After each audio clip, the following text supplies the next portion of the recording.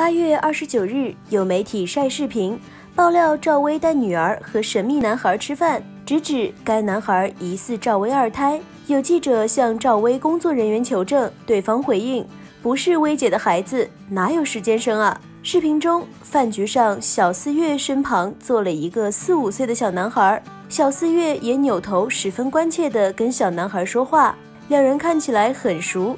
非凡娱乐实时报道。